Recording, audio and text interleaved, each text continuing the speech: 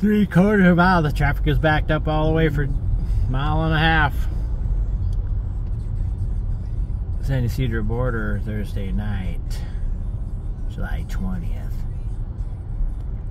It's okay if you don't subscribe. It's okay if you unsubscribe. Even my own mother unsubscribed. So, yeah, don't feel bad. Do not feel bad. You get out of here if you don't want to be subscribed. We don't want you to be subscribed to something you don't want to be subscribed to. No, no, no. Don't be doing that now. You don't want to be somewhere where you don't want to be. So don't be subscribing unless you really, really, really, really, really, really want to. Or you need to. Or you like to. Traffic is packed up way back Thursday night, July 20th, San Ysidro border. Oh, Chucho was right. We should have took the Otay. But then you got traffic all down through Cinco y Diez and on on through there. And what's the fastest way home, the fastest route home? I hope Chucho took Otay.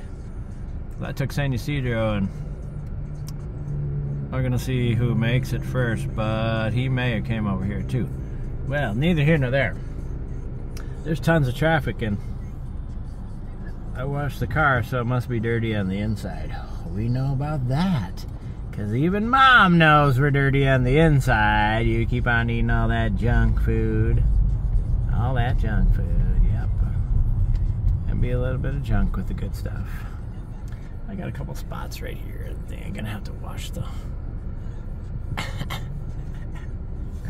gonna have to wash the window better. Because it's just getting pretty dirty in here wonder how it gets so dirty. I think maybe, oh yeah, because I touch the, sometimes I touch the thing and, and it's kind of a fun game too, trying to see if you can not let people in. This guy was going to go in front of me and then he ended up behind me.